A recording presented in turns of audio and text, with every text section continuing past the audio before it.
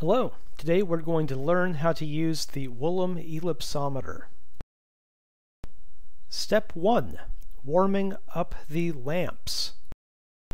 When you first come to the tool, go to the lamp controls on the front panel, press the lamp power button, and then press the lamp ignition button. Wait up to 15 minutes for the lamp to stabilize and place your sample on the tool's stage. Step 2. Conducting a scan using a recipe. With your sample loaded and the lamp warmed up, select a recipe from the left menu and press Measure. The system will then automatically align the beam to your sample and find the point of greatest intensity before performing the scans. Recipe 3 angle 4 seconds is the default recipe, but you are welcome to create your own with longer scan times and more or fewer angles depending on your needs. Once the scan is finished, the data will show up below. Step 3. Analyzing and saving scan data.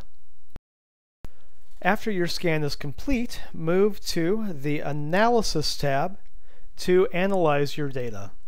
You can use one of the pre-existing models, press Generate and Fit to find the best thickness fit for your sample. You can also create a blank model and add the substrate and films using the existing library. If your film isn't listed, contact a staff member and we can work to add a model for that film. When building a film model from scratch, you will be required to set the initial thicknesses, either educated guesses or information you know, and also be sure to select the Fit checkbox for the film thickness that you wish to measure. Once your analysis is finished, you can save the model, you can save the data, or you can save both as a snapshot. Step 4. Shutting down the ellipsometer.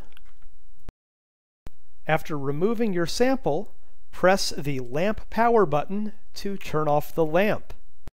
Please contact a staff member with any further questions. Thank you.